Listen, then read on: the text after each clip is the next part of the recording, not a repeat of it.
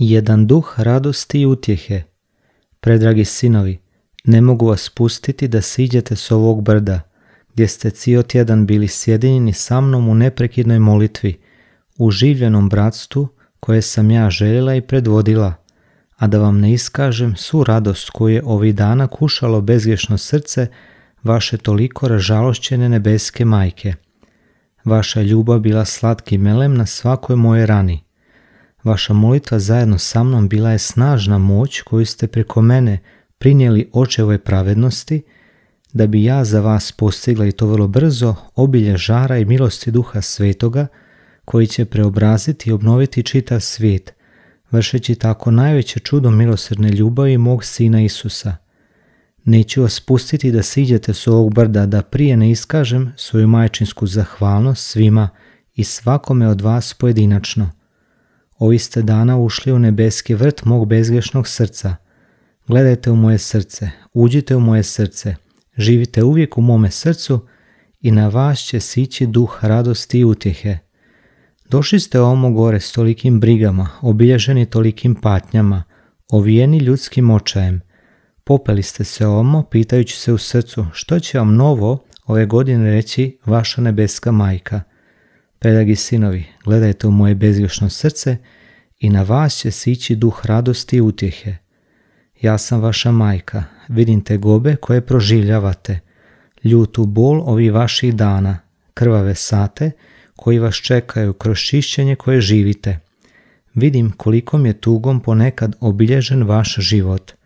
Vidim i trenutak kad ste pritisnuti, klonuli i obeshrabreni, jer danas moj protivnik na vas vreba iznad svega sumnjom i nepovjerenjem. Gledajte u moje bezgrešno srce i u vama će se poput preobilnog izvora izliti duh radosti i utjehe. Zašto sumnjate? Zašto ste tužni? Ja sam kraj vas u svakom trenutku, nikad vas ne napuštam. Majka sam i k vamo me vuče teret velikih tegoba koje danas proživljavate. Iz mog srca izlazi zraka svjetlosti, to je svjetlost vaše majke, vjerne djevice koja prosvjetljava vaš um i blago ga privlači k razumijevanju tajne Božje riječi i k prodiranju u dubini tajne evanđelja. U tami koja se spustila na svijet i širi se crkom, tolike su savjesti zamračene grisima, zabludama i postale jalovima zbog sve većih širenja sumnji. Tolike inteligencije zarazio grijeh zbog kojega se toliki gube i udaljuju od staze prave vjere. Ovo je doba kada mnogi u crkvi gube vjeru, čak i među mojim predragim sinovima. Ako gledate u moje bezgrešno srce i pustite da u vas prodre zraka moga svjetla, vaši će umoji biti obdareni božanskom mudrošću i privući će ih ljepota istine, koju vam je Isus otkrio. Svakdašnja hrana vaših umova bit će samo riječ Božja. Ljubite je, tražite, čuvajte, branite i živite. I tako dok se širi velika apostazija, hodit ćete u radosti i utjehi da ste zauvijek ostali u istini evanđelja. Kad ste došli ovamo, gledala sam vaše duše, koje su vrt moje nebeske majčinske vlasti i vidjela sam da su još zamračene grihom kojem često podliježete zbog tolike svoje ljudske slabosti. Vaši grijese nisu veliki, sada već nastojite da ih više ne činite, ali moje srce ne voli ni one male, one koje vi zovete lakim grisima. Mogu to biti egoizam, samoljublje, nesposobnost, da vjerujete i da mi se povjerite dječom poslušnošću, svakodnevne nagodbe sa svijetom, privrženost osobama i vašem načinu mišljenja. To su male sjene koje zamračuju ljepotu vaše duše. Ovih je dana moja majčinska ruka prošla i obrisala sve ove sjene. Hodite u radosti i utjehi jer se osjećate voljenima i od mene vođenima, kako biste postali čistiji, bolji, milosrdniji, sveti i ljepši. S ovoga se brda vaše duše moraju vratiti svjetlije, obnovljene Isusovom milošću, dok se Otac nad njih naginje nježnom ljubavlju, a moj božanski zaručnik Duh Sveti preobražava u savršene imitacije mog sina. Došli ste ovamo, ja sam vidjela vaša srca jedno po jedno. Troši ih tolika neplodnost, zatvorena su samo u sebi, otvrdla su kušnjama koje proživljavate. Tada sam se poput majke približila svakomu od vas, stavila sam vaše srce unutar užarene peći svog majčinskog srca i unijela ga u dubinu božanskog srca svog sina Isusa. Gledajte u ovo srce, bilo je za vas probodeno. Uđite u rano Isova srca i dajte da vas svaki dan preobražava goruća vatra njegova božanskog milosrđa. Ovo je srce more beskrajne ljubavi i ono skuplja svaku ljudsku slabost, sažiže svaki grijeh, poziva na sve veće milosrđe, jer ljubav se mora ljubiti i svaki dar traži kao odgovor drugi dar. Ovdje se unutra vaša srca poput zlata u loncu za topljenje stalno preobražavaju plamenom gorućeg milosrđa i tada postajete to poslušniji, ponizniji, krotkiji, milosrdniji, bolji, manji i čistiji. Evo, oblikovana, u beskrajnom moru božanske ljubavi, rađuju se vaša nova srca i novi duhovi, kako biste mogli biti svjedocima ljubavi i nositi posuda ljubav, postojeći tako sami duhovima radosti i utjehe za sve. Još ne svaćate da su ovo godine bolnog čišćenja koje idu prema još krvavijem kraju. Zašto onda postavljate pitanja? Ovo su moje godine, to je razlog zbog kojeg sam htjela da dođete ovamo i u toku ovih duhovnih vježbi koji su neprekinice nakul, udjelila sam neobične milosti svakome od vas.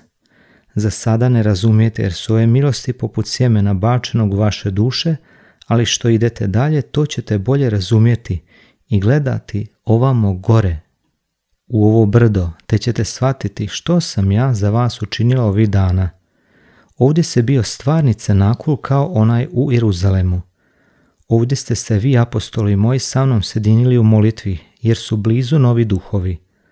Ovamo sam vas uvela da shvatite tajnu mog bezvješnog srca, da biste vi sami, sišavši s ovog brda, postali svima moj biljeg radosti i utjehe. Ne možete se vratiti kao što ste se popeli, siđite sa mnom. Pogledajte ovo bespodno čovječanstvo, kolika su moja djeca mrtva, jer ih je ubio grijeh i mržnja, nasilje i nečistoća, žrtve su poroka i druge. Oni su moja djeca, očajna, izmučena i potrebna pomoći. Sa svojom ljubavlju recite im moju majčinsku riječ i budite im moj biljeg radosti i utjehe. Zatim uđite u srce moje crkve. Budite znak radosti i utjehe papi, mom prvom odabranom sinu koji danas toliko pati, napušten, kritiziran i osporavan. Vi mu budite potpora ljubavi koju mu moje majčinsko srce želi udjeliti, jer i on danas ima potrebu za duhom radosti i utjehe, i ja mu ga hoću dati preko vas, moji svećenici, predragi sinovi. Ljubite papu, sedite ga i branite. Uđite i shvatite misteri crkve, koja je mistično Kristovo tijelo, danas podijeljeno i razderano, i kojem vi morate vratiti jedinstvo. Ovo je tijelo danas prezreno, još uvijek bičevano grisima, što sve više uzimaju maha. Dajte zadovoljštinu za sve grijehe, pomažući toliko moje djeci da ih se oslobode obavljanjem sakramenta pomirenja koji preko vas mora ponovno bjesnuti u cijeloj crkvi. Sagnite se sa mnom da poljubimo rane ove moje preljubljene kćeri, čiji ste vi sinovi, jer će se crkva moći obnoviti samo snagom vaše svećeničke ljubavi. Tako vi postajete biljeg novog doba koji već počinje, u najstrašnijoj zimi njegova najbolnijeg čišćenja. U agoniji koju crkva proživlja, vi ste kalež utjehe koji joj bezgrešno srce vaše nebeske majke daje da pije kako bi ponovo pribrala snagu i hodila s radošću. Tako vi danas postajete duh radosti i utjehe za cijelu crkvu. Nemojte se obeshrabriti, moja je pobjeda već počela. U vašim srcima, u tišini vaših svećeničkih života, meni posvećenih i meni žrtvovanih, trijumf mog bezješnog srca već je započeo. Hvala na utjehi koju ste mi dali. Slušam vaše želje i molbe. Blagosiljam apostolat, duše koje su vam povjerene, vaše teško poslanje. Blagosiljam vaše živote, meni su dragocjeni. Sutra ćete sići s ovog brda da biste se vratili svojim kućama. Ja vam se pridružujem s majčinskim blagoslovom. Ne bojte se više, uvijek sam s vama.